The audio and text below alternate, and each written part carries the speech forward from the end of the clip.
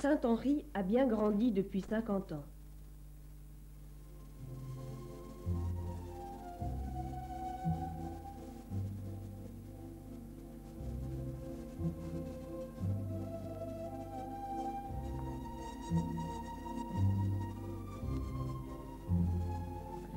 Souvenez-vous, en 1937, M. Six nous tendait la perche en cédant le terrain pour y construire nos ateliers.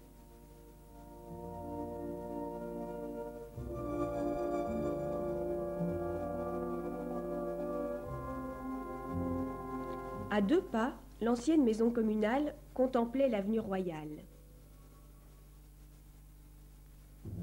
1938, Monseigneur Lamirois, évêque de Bruges, bénit la foule nombreuse venue assister à l'inauguration de l'école professionnelle libre. Après quelques accents musicaux, les personnalités locales et nationales se succèdent à la tribune d'honneur. Plus de dix mille personnes applaudissent dans la grande cour.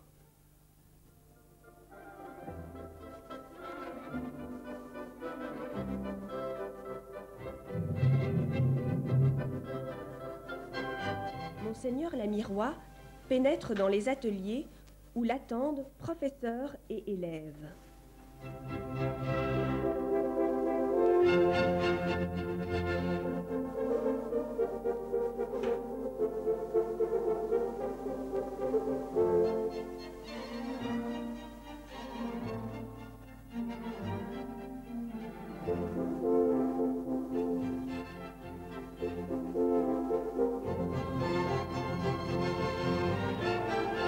Il les bénit.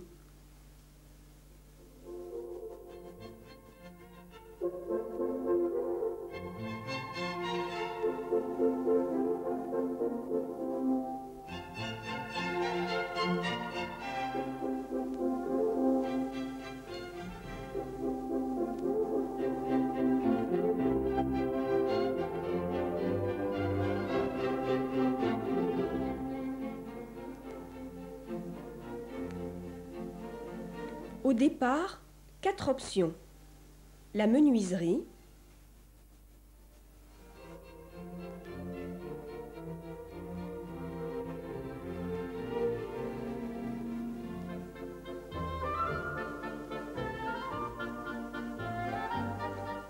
décoration sobre, stimulante et bilingue.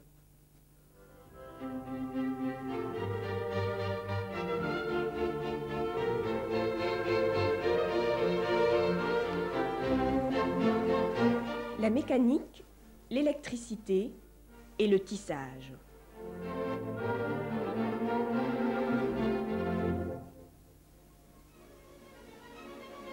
Vingt ans plus tard, voyez comme cela tourne.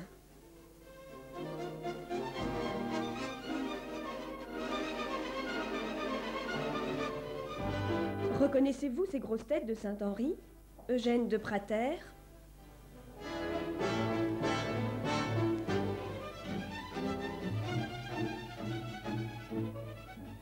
Étienne Castel et bien d'autres.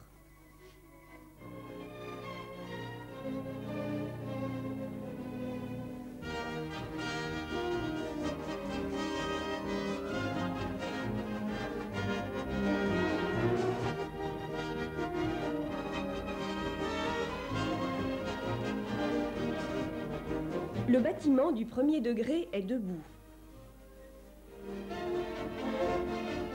Après l'effort physique, le réconfort d'une bonne table.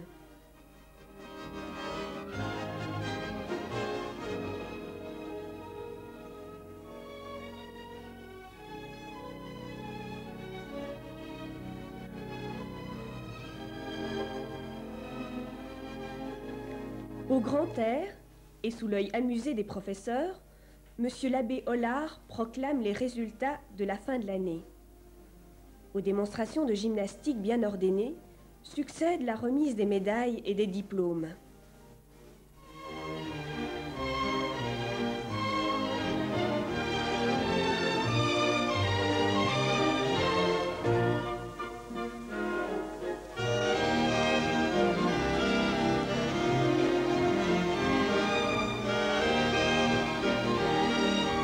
Quelle belle sortie pour ces élèves en 1957 et quelle satisfaction pour leurs parents venus nombreux à la cérémonie.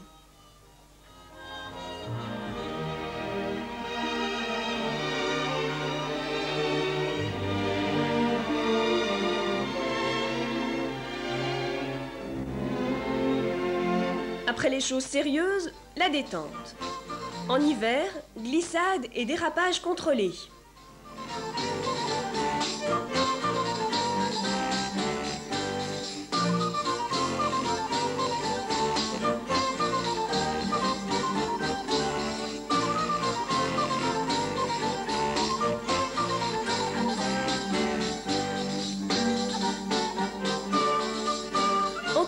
Basket où l'école s'est distinguée avec le Comet, comité olympique moucronois de l'école technique.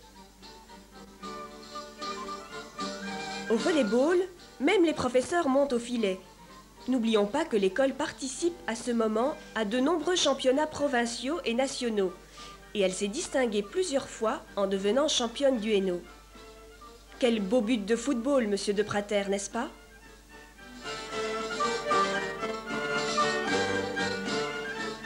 Après les jeux des élèves, la détente ardemment disputée des professeurs dans l'ancienne maison communale tenue par Célina.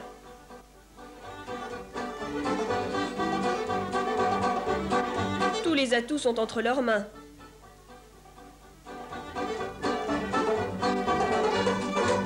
Les feuilles de remplacement sont sujettes à de nombreux commentaires.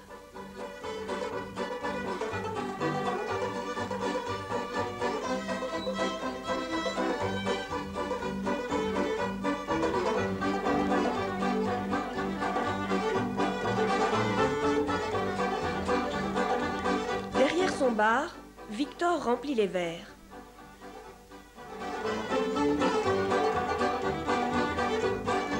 Reconnaissez-vous ces champions?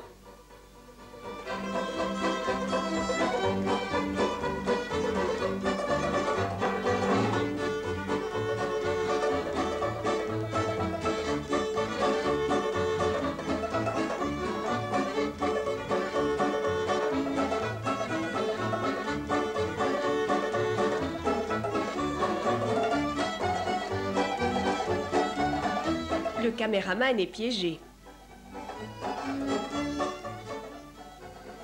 Quelle bonne tartine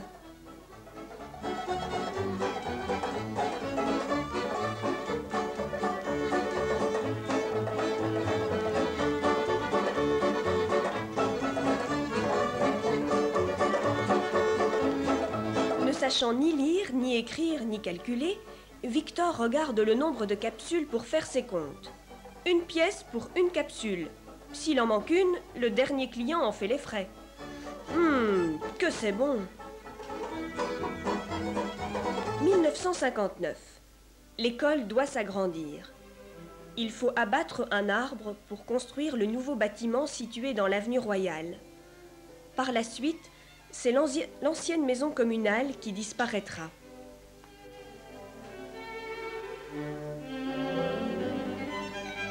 Les élèves s'attellent au travail sous l'œil attentif de leur directeur, Monsieur l'abbé Verkinderen.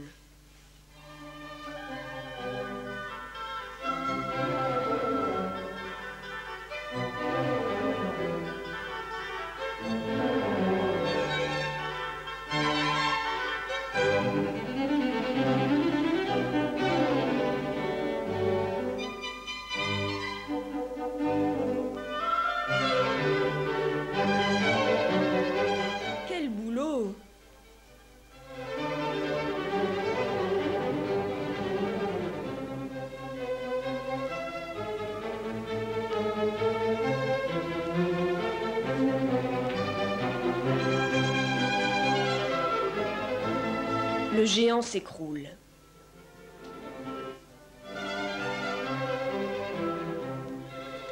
Le chantier est ouvert.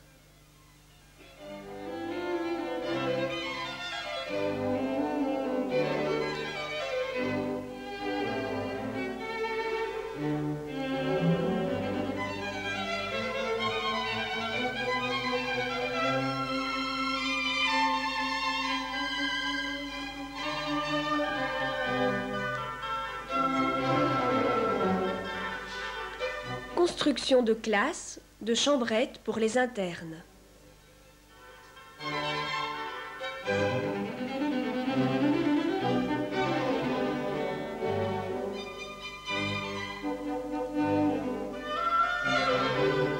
Même les professeurs viennent observer le travail. Nous voici en 1958. L'abbé Verkineren accueille sa famille à l'école pour fêter ses 25 ans de prêtrise.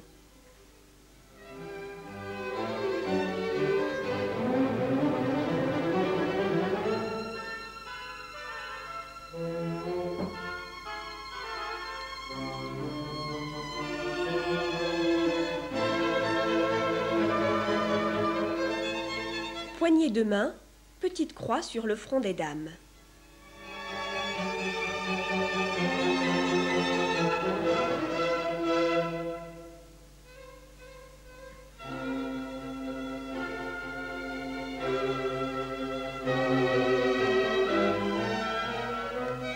Les élèves sont aussi de la fête et ont préparé quelques démonstrations.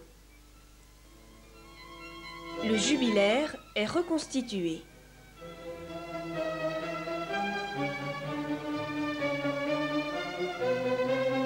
À cette occasion, M. Carrette lui épingle sur la poitrine la croix de chevalier de l'ordre de Léopold III, sous l'œil attentif des professeurs et de différentes personnalités.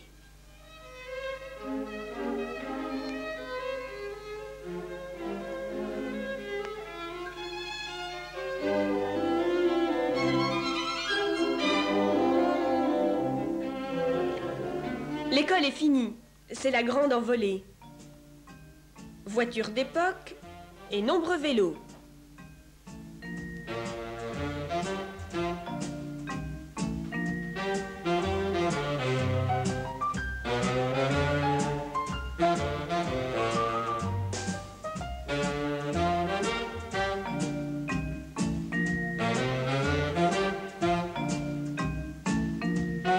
Sortie impeccable.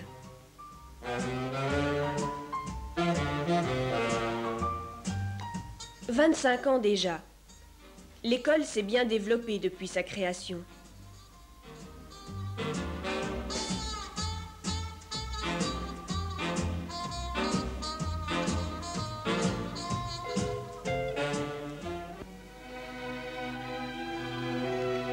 Monsieur le directeur, membre de l'amicale des anciens, professeurs, tous se sont rassemblés pour fêter dignement l'événement.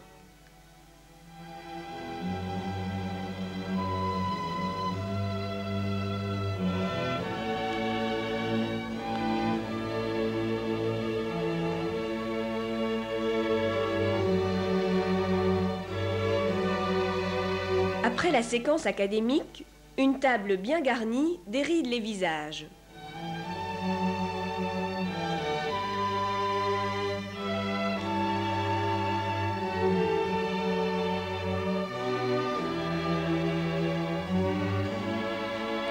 Une assemblée nombreuse, des têtes connues, des coupes bien ajustées.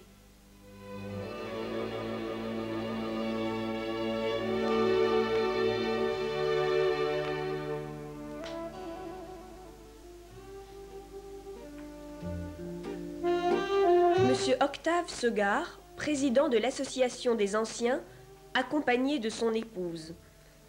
Avec fracas, l'Oberbayern, fanfare composée des professeurs de l'école, souffle à plein poumon.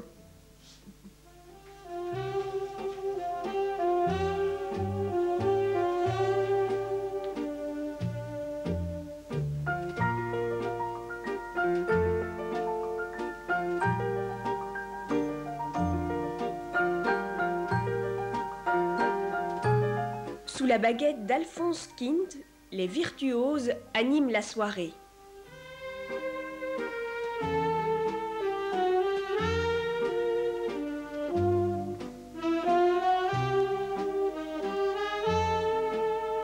On y danse, on y danse tous en rond.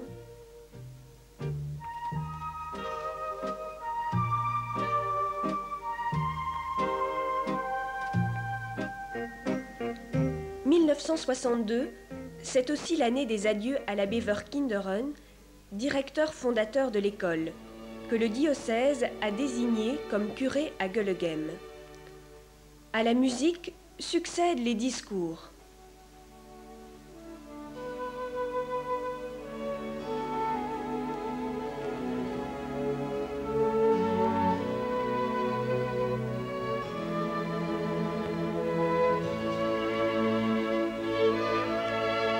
Félicitations.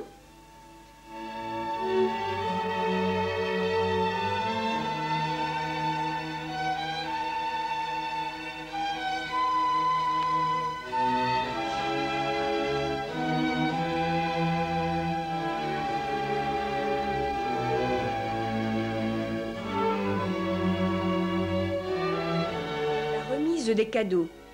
Une statue de la Vierge Marie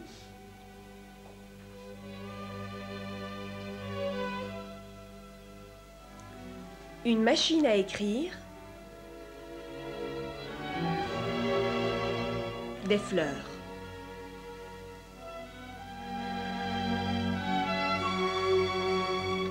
Merci, monsieur l'abbé Verkinderen.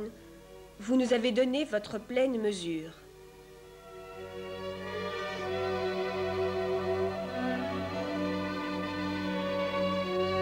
Refaisons un tour d'horizon sur vos grandes œuvres les locaux du premier degré et l'internat.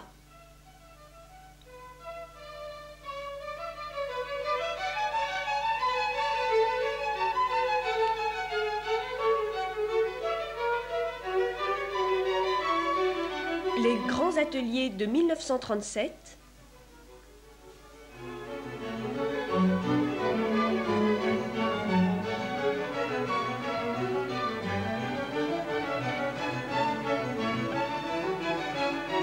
Le bâtiment de l'avenue Royale.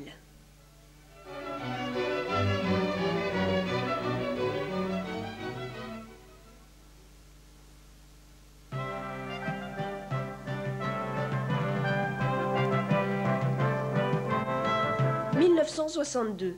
Notre nouveau directeur, Monsieur l'abbé de Yagre, arrive. Monsieur l'abbé Colli fait les présentations.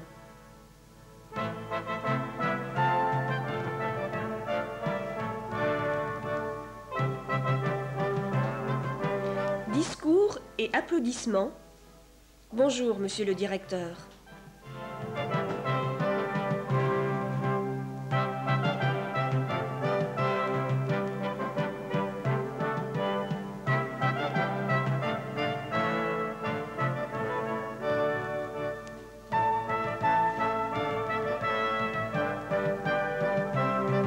La fanfare est aussi de la partie. Une entrée menée tambour battant.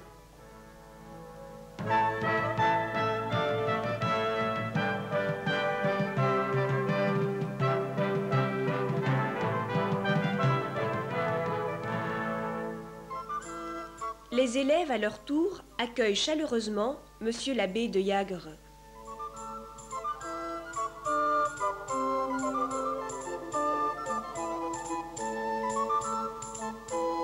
Les années 60, des expositions mémorables qui durent 4 à 6 jours pendant le mois de juillet.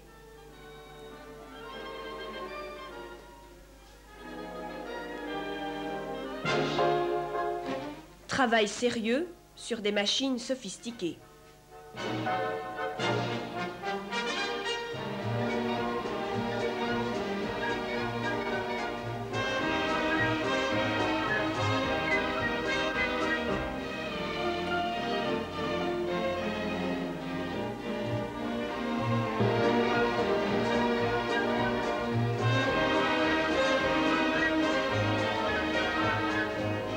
Le rallye vélo organisé dans le cadre de la Fancy de l'école.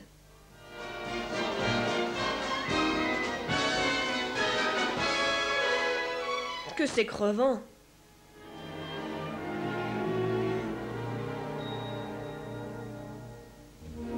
Mais à quel prix?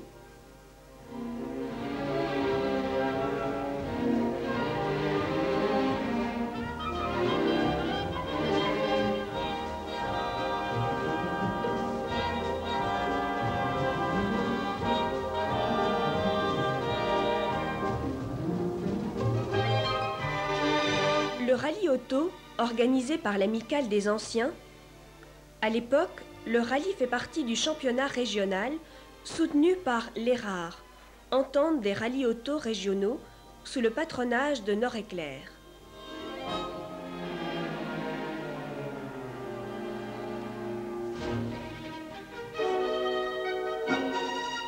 Contrôle sévère.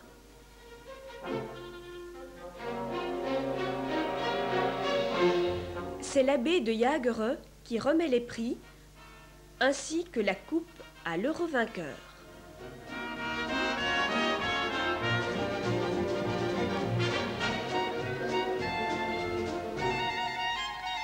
Après le rallye auto, la fancifère. Autodrome, stand en tout genre, une véritable fête foraine. N'oublions pas que fancifère signifie foire au plaisir. L'Amicale des Anciens en organise 10 de 1956 à 1966, une des plus grosses fancifères de la région. Elle attire des milliers de personnes.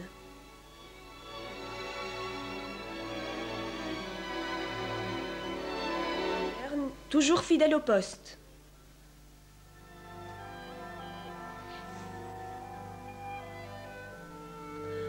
Dans les ateliers, on fait danser la foule.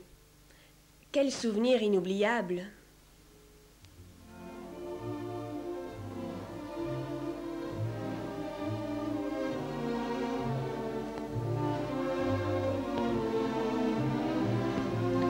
Autre grand succès populaire, les tournois de cartes organisés par l'Amicale des Anciens.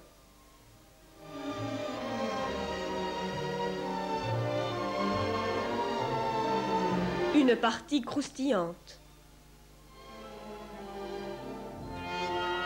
Nous voici à la fin de l'année lors d'un banquet de professeurs.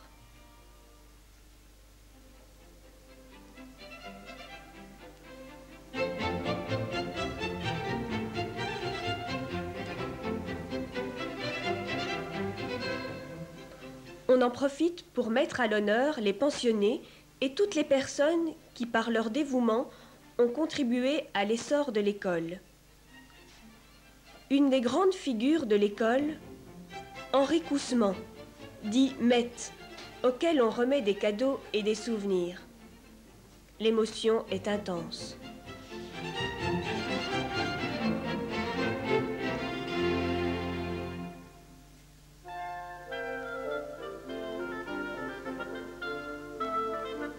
Vivat en l'honneur de leurs fidèles compagnons. Merci beaucoup les amis.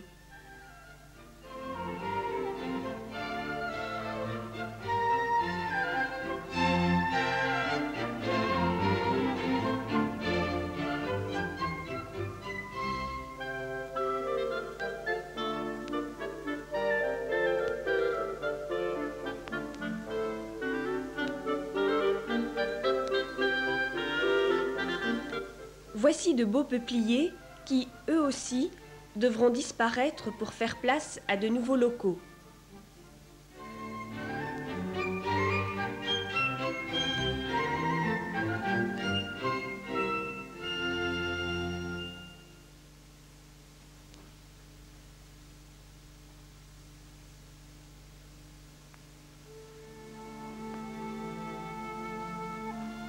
En 1964, l'école doit construire des bureaux administratifs et un auditorium pour accueillir des élèves toujours plus nombreux.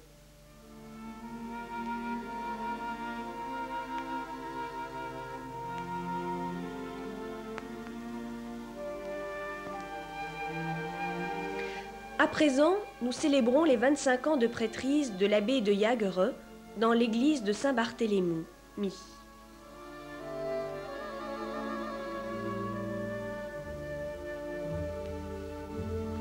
Reconnaissez-vous ce visage hilar et sympathique aux côtés des membres de la famille de la baie de Yagre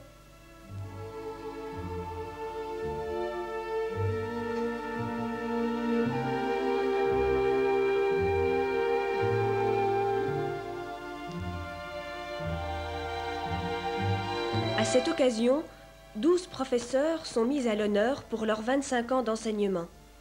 Noël Eusentreut, Daniel Vogt, Gérard Martens, Marcel Ospier,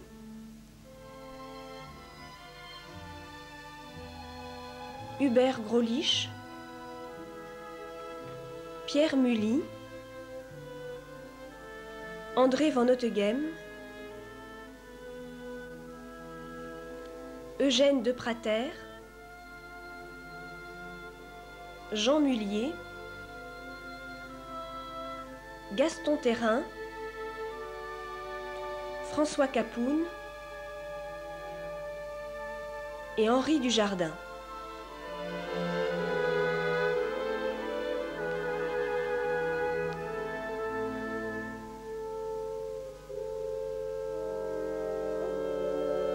Cette fête a également été l'occasion d'un hommage aux sœurs de Tilt, qui se sont toujours si bien occupées de l'entretien de l'école ainsi que de la cuisine. Mouder, une sacrée bonne femme.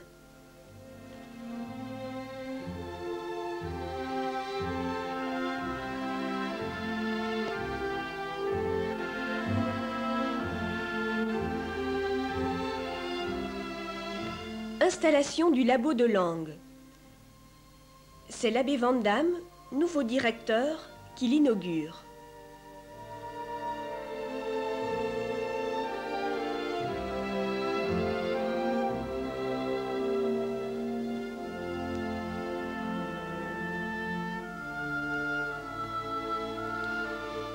Monsieur l'abbé de Yagre, nommé inspecteur par le diocèse, a quitté l'école.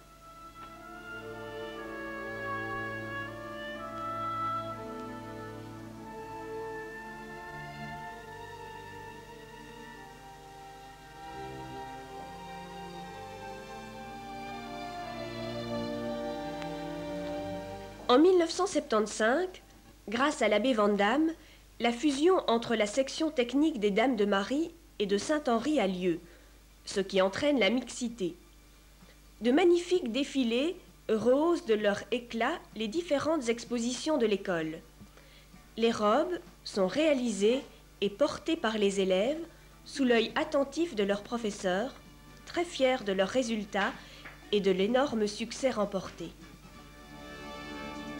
We live on the Amazon,